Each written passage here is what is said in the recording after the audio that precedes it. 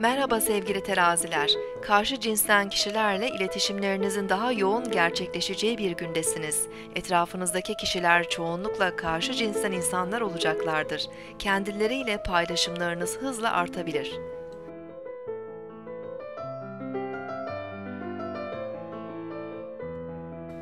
Bugün 2 Nisan 2014 Çarşamba. Merkür günündeyiz.